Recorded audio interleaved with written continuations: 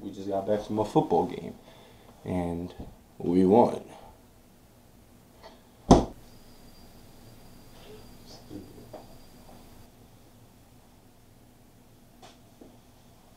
Huh.